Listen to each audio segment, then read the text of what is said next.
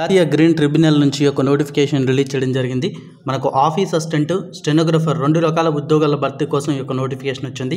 పదహారు మార్చ్ రెండు వేల ఇరవై తారీఖున ఈ నోటిఫికేషన్ రిలీజ్ చేయడం జరిగింది. సో ఇది వచ్చేసరికి మనకు కాంట్రాక్ట్ పద్ధతిలో ఈ ఉద్యోగాలను భర్తీ చేస్తున్నారు. సో ఇనీషియల్గా అయితే మనకు సిక్స్ మంత్స్ అనే కాంట్రాక్ట్ పీరియడ్ కోసం రిక్రూట్ చేసుకోవడం జరుగుతుంది. తర్వాత మీ యొక్క పర్ఫార్మెన్స్ని బట్టి వాళ్ళ యొక్క రిక్వైర్మెంట్ని బట్టి ఎక్స్టెండ్ చేసే అవకాశం అయితే ఉంటుంది. ఆఫీస్ అసిస్టెంట్ ఉద్యోగాలు తొమ్మిది ఖాళీలని బ్యాచిలర్ డిగ్రీ కంప్లీట్ చేసిన అభ్యర్థులు కంప్యూటర్ నాలెడ్జ్ కలిగి ఉన్నట్లయితే ఉద్యోగాలకు అప్లై చేయొచ్చు. ఇరవై ఒకటి నుంచి ముప్పై సంవత్సరాల మధ్యలో వారు ఈ ఉద్యోగాలకు అప్లై చేయొచ్చు. ఇరవై నాలుగు వేల రూపాయల జీతం అనేది ఇవ్వడం జరుగుతుంది. స్టెనోగ్రఫర్ నాలుగు ఉద్యోగాలు ఇచ్చారు. గ్రాడ్యుయేషన్ కంప్లీట్ చేసిన అభ్యర్థులు దాంతోపాటుగా స్టెనోగ్రఫీ ఇంగ్లీష్లో నైపుణ్యం కలిగిన అభ్యర్థులు అప్లై చేసుకోవాల్సి ఉంటుంది.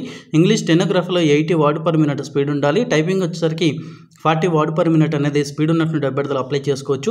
ఇరవై ఒకటి నుంచి ముప్పై సంవత్సరాల మధ్యలో ఉన్న అభ్యర్థులు ఉద్యోగాలకు అప్లై చేయొచ్చు. ఇరవై నాలుగు వేల రూపాయలు వీళ్ళకు కూడా జీతం అనేది ఇవ్వడం జరుగుతుంది. వర్కింగ్ అవర్స్ చూసుకుంటే మీకు నైన్ థర్టీ నుంచి ఫైవ్ పిఎం మధ్యలో మీరు వర్క్ చేయాల్సి ఉంటుంది.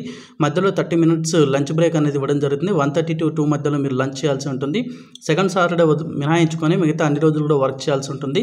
సండేస్ హాలిడేస్ ఉంటాయి. సెకండ్ సాటర్డే రోజు ఒక రోజు హాలిడే ఉంటుంది. మిగతా సాటర్డేస్ కూరంగా మీరు వర్క్ చేయాల్సి ఉంటుంది. ఒక రోజు అనేది క్యాజువల్ లీవ్ అనేది మంత్లో ఇవ్వడం జరుగుతుంది.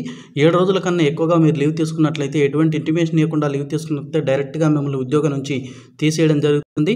సో మీరు అప్లికేషన్ ఫామ్ అనేది మనకి ఇందులోనే ఇచ్చారు. ఈ అప్లికేషన్ ఫామ్ అంతా కూడా నీట్గా ఫిల్ చేసి దానికి కావాల్సినటువంటి అన్ని సర్టిఫికేట్స్ కూడా జతపరిచేసి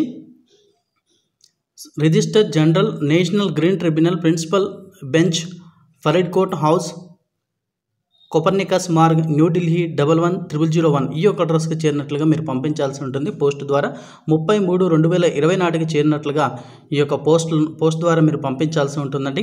సో మీకు సెల్ఫ్ అటెస్టెడ్ అవన్నీ ఏం చెప్పలేదు మనకు. ఇక్కడ ఏమి ఇచ్చారంటే enclosed or prescribed format along with relevant documents అని ఇచ్చారు కాబట్టి వాటికి మీ దగ్గర ఉన్నటువంటి డాక్యుమెంట్స్ అన్ని కూడా అటాచ్ చేసి పంపించాల్సి ఉంటుంది. సో ఇది ఈ వీడియోకి సంబంధించినటువంటి ఇన్ఫర్మేషన్ డిస్క్రిప్షన్లో లింక్ అనేది నేను ప్రొవైడ్ చేస్తాను. ఒకసారి చూసుకొని అప్లై చేసుకోండి. వీడియో మీకు నచ్చినట్లయితే లైక్ చేయండి. నచ్చపోతే డిస్లైక్ చేయండి. వీడియోపై మీ అభిప్రాయాన్ని కామెంట్ చేయండి. వీడియోని తప్పకుండా షేర్ చేయండి. Thanks for watching